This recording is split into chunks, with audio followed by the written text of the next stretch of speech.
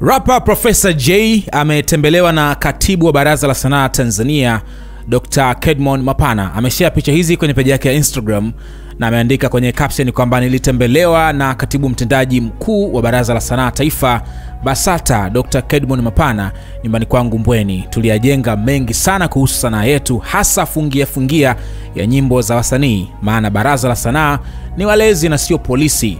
Pia nilimwahidi atanisikia tena hewani siku si nyingi, stay tuned.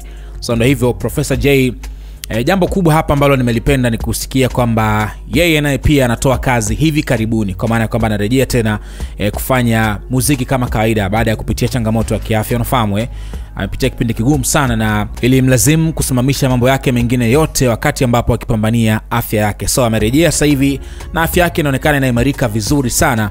Hivi karibuni pia umeona akikutana na watu mbalimbali ikiwemo rais mstaafu wa awamu ya nne Dr. Jakaya Mrisho Kikwete, lakini pia nimeona amekutana na Joseph Kusaga. So leo hapa anasema kwamba wamezungumza na Dr. Mapana kuhusiana na ishu ya kufungia fungia nyimbo za wasanii. Unafahamu hii ni ishu ambayo imekuwa ikilalamikiwa sana na wasanii kwamba BASATA wao wamekuwa zaidi wakipiga rungu wasanii kwa kufungia nyimbo zao na sio kuwasaidia kwa maana ya kuwalea, kusapoti mziki wao e, kwa levo ile ambayo wasanii walikuwa wanaitegemea. Zaidi limekuwa likijikita kwenye kuwafungia wasanii. Haya ni malalamiko ambayo wamekuwepo kwa muda, na profesa hapa naye anasema wamezungumza hiyo ishu na kuambia kwamba BASATA sio polisi, ni baraza ambalo lipo kwa ajili ya kuwalea wasanii so kimekuwa ni kikao kizuri kwa mujibu wa maelezo haya ya Profesa J kati yake na e, katibu mkuu mtendaji wa Baraza la Sanaa Tanzania Dr. Kedmon Mapana, au vipi?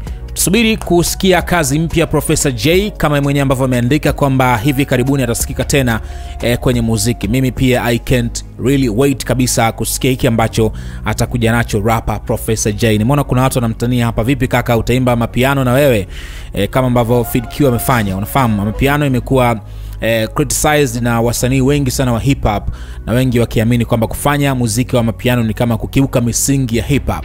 So vipi Profesa J atakujaje? Nadhani nina hamu kubwa sana ya kusikia hicho kitu. So nikukumbushe kutembelea website yetu ambayo inapatikana kupitia www sns.co.tz.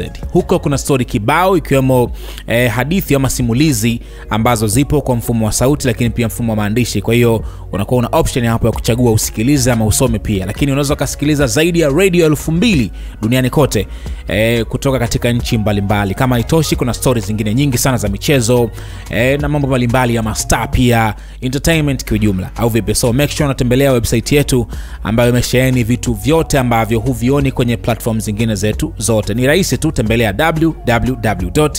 www.sns.co.tz. Lakini pia hapa YouTube hakikisha pia umesubscribe kwa taarifa nyingine kila wakati. Attention! Your potential customers are watching this video. Don't miss out on the opportunity to reach them. Advertise your business alongside their favorite content and convert them into loyal customers.